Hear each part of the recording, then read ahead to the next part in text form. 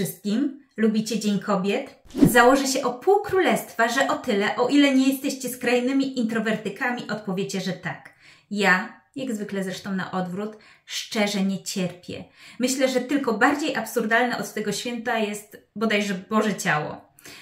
Wysoce osobliwym wydaje mi się celebrowanie zespołu cech przynależnych do połowy ludzkości, mniej więcej, na które nie miało się żadnego wpływu. Zanim ktoś uzna mnie za smutasa, pogromcę uśmiechów, to powiem, że nic bardziej mylnego. Ja uważam, że w ogóle powinniśmy rozszerzyć to święto na celebrowanie człowieka i liczyć na prezenty oraz życzenia od cywilizacji pozaziemskich. I owszem, ja wiem, że tego dnia ktoś chce mi sprawić przyjemność, składając życzenia i wręczając drobny upominek, ale za każdym razem myślę sobie, że to, co powinno być celebrowane, to nasza absolutna unikalność, to, co czyni nas ponadprzeciętnymi i wyjątkowymi jako jednostki. Nie uważacie? Kolejny argument jest taki, że w naszym kalendarzu mamy o wiele fajniejsze święta, na przykład święto rzucania owsem wieśniaka. No, czy to nie jest genialne? I naprawdę takie funkcjonuje. 26 grudnia i podczas niego obrzuca się gospodarza owsem, co ma zapewnić dobrobyt oraz e, pomyślność. Chociaż, będąc z Wami szczerą, jest gorsza odsłona tego święta, a mianowicie taka, w której kawalerowie wrzucają pannom pod ubrania owies, co ma zapewnić im za mąż pójście. No to tak delikatnie mówiąc średnio, prawda? Ktoś mógłby mnie zapytać, och Maja, co Ci szkodzi to radosne święto, podczas którego większość osób doskonale się bawi, a przedsiębiorcy, tym zresztą ja, świetnie zarabiają. A no oczywiście nic mi nie szkodzi. Ja w ogóle z założenia mam totalnie wyrąbane w to, jak ludzie spędzają swój czas, o tyle o ile oczywiście nie krzywdzą przy tym innych. To, co mierzi mnie w tym święcie, to pewna jego otoczka, zgodnie z którą stanowi ono przyczynek do walki o prawa kobiet i wyrównanie nierówności. Szczerze, zupełnie tego nie dostrzegam. Przynajmniej w, Polsce, w polskiej polityce roku 2024. Wydaje mi się, że 8 marca my jako kobiety zostałyśmy w dużej mierze sprowadzone do podmiotów seksualnych. Bo oto okazuje się, że najbardziej palącym problemem dla kobiet w Polsce jest dostępność do aborcji. Być może się mylę, ale wydaje mi się, że większość kobiet nie budzi się każdego dnia z myślą: hmm, czy ja będę mogła abortować swoje dziecko? I zanim ktoś histerycznie mi napisze w komentarzu, że inaczej będę piać, jak zostanę zgwałcona, stracę dach nad głową, a moje dziecko będzie miało się urodzić bez głowy i w ogóle będę miała umrzeć podczas porodu. Oczywiście, ja absolutnie nie umniejszam tym tragediom ludzkim i uważam, że w ich kontekście, abstrahując od moich personalnych zapatrywań, tak zwany osławiony kompromis aborcyjny spełnia swoją rolę, czyli dopuszczalność aborcji, uogólniając w momencie, w którym zagrożone jest życie matki, dziecko jest poczęte z gwałtu lub też e, ma bardzo poważne wady. Nie chciałabym zresztą wchodzić za bardzo w te kwestie, ale, no ale uważam, że ten kompromis jest jak najbardziej zasadny. Uważam przy tym, że myśl, z którą większość kobiet się budzi, dotyczy raczej tego, co włożyć do gara, czy będę miała możliwość spełniania swoich e, marzeń, czy będę mogła wykorzystywać swoje kompetencje, rozwijać swoje talenty, stawiać na postęp intelektualny, realizować siebie i swoją subiektywną e, wizję szczęścia? To wydaje mi się istotne i wydaje mi się, że z tą myślą budzą się kobiety. Ja nigdy nie miałam myśli o aborcji, a każdego dnia towarzyszy mi przekonanie, że państwo, społeczeństwo i religia w tym kontekście, o którym wspomniałam, stawia przede mną bariery. Pewnie coś mnie ominęło w narracji głównego nurtu, ale kolejne palące kwestie, które są naczelne dla przedstawicielek e, płci żeńskiej, to tabletka dzień po i edukacja seksualna. Oczywiście, żeby ktoś mnie źle nie zrozumiał, ja nie umniejszam wagi tym aspektom naszego życia, ale na Boga nie sprowadzajmy ludzi, nas kobiet, wyłącznie do sfery seksualnej. Na Boga. Chciałabym też dodać, że jestem osobą, która określałaby się mianem mocno ateizującej agnostyczki. Więc broń Boże, moje przekonania nie wynikają z kwestii związanych z religią katolicką. E, chciałabym, żeby to wybrzmiało. Kolejny pomysł, który padł w walce o rzekome prawa kobiet, to e, możliwość. Przepraszam, nie, nie. Jestem poważna, ok. Prawo do urlopu menstruacyjnego. I znowu, z całego serca empatyzuję z kobietami, które mm, zmagają się z bolesnymi miesiączkami, sama do nich należę. Ale uważam, że wprowadzenie takiego urlopu jest bardzo krótkowzroczne. Dlaczego? Ano dlatego, że zgodnie z koncepcją Fryderyka Bastiata mamy tu do czynienia z czymś, co widać i czego nie widać. Widać cierpiącą kobietę, której każdy z nas o tyle, o ile jest y, normalnym człowiekiem, chciałby ulżyć. I nie ma tutaj y, no, żadnych wątpliwości. Ale to, czego nie widać, to to, że po pierwsze, kto poniesie koszty takiego urlopu? Bo albo poniesie to niesprawiedliwie przedsiębiorca, albo całe społeczeństwo, albo paradoksalnie ta kobieta. Dlaczego? Prosta sprawa. Jeżeli pracodawca będzie miał kandydata i kandydatkę o niemal identycznych kompetencjach, to pytanie za 100 punktów koło wybierze.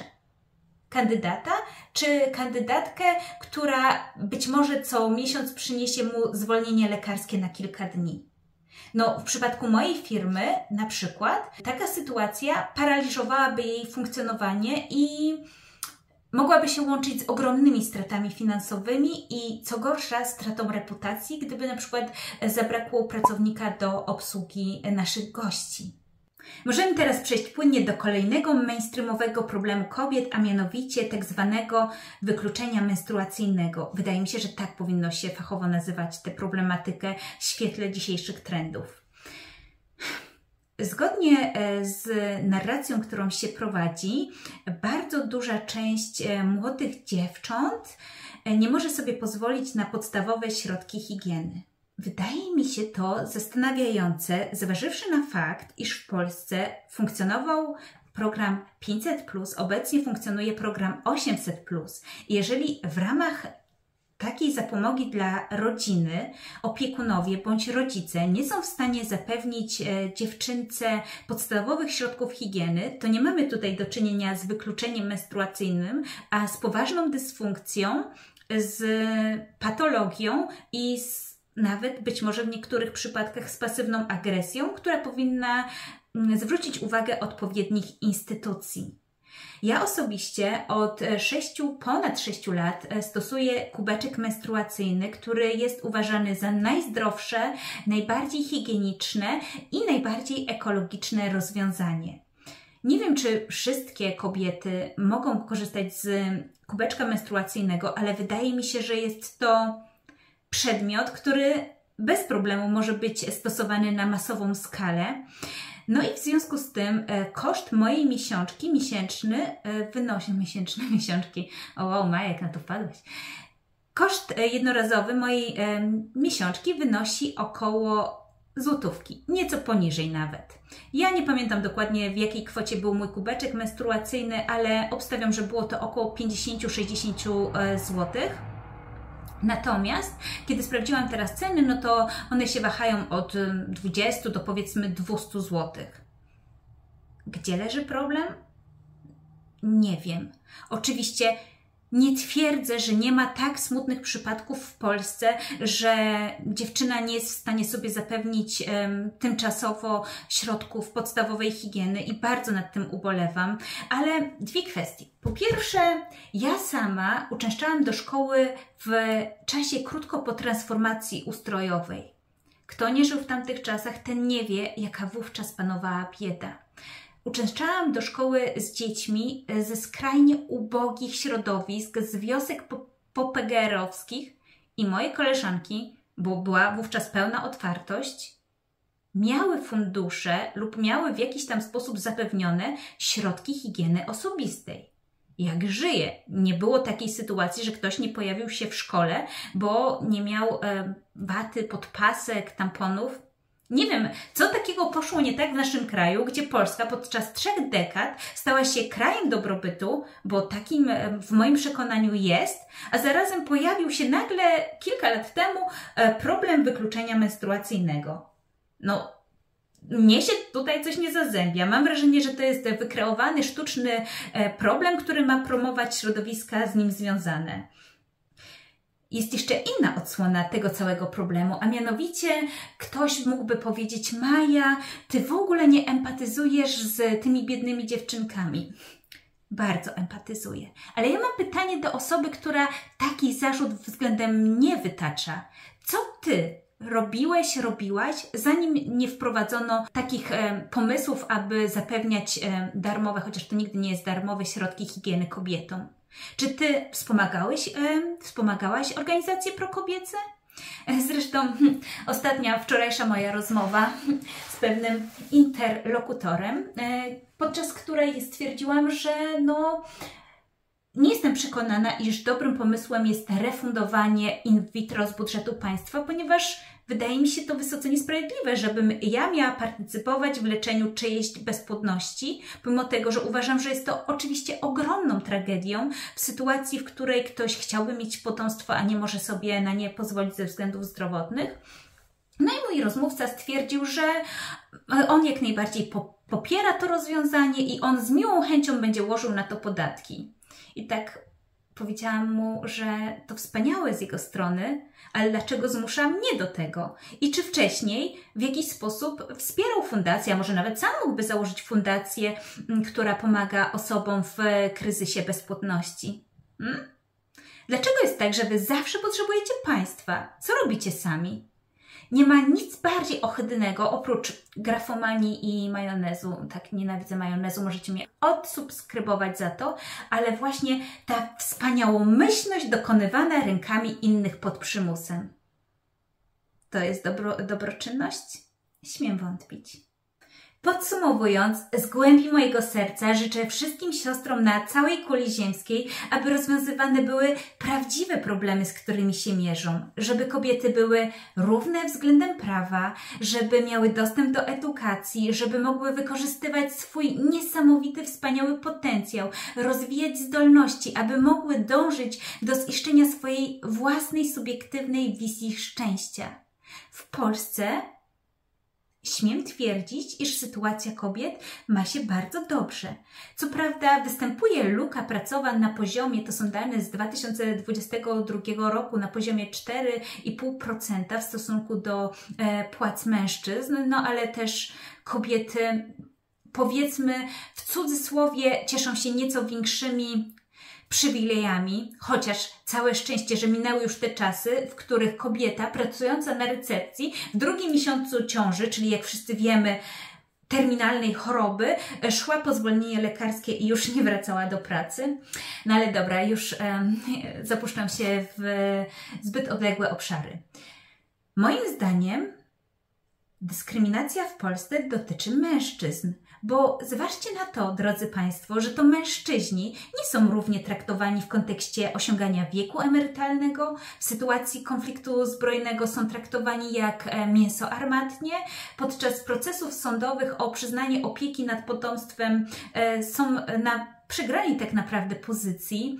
Często odmawia się im pomocy e, psychologicznej, umniejsza im ich wrażliwości, umniejsza się przemocy, której doświadczają ze strony kobiet. No, moim zdaniem, tak naprawdę to mężczyźni są pokrzywdzeni i nie podnosi się tego wątku.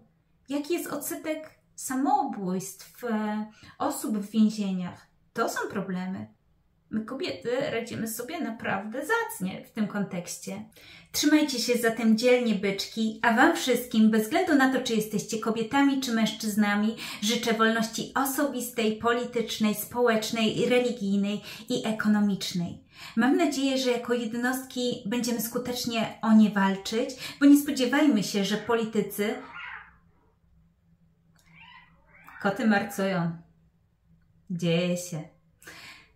Nie spodziewajmy się, że politycy jakkolwiek nam te wolności zapewnią.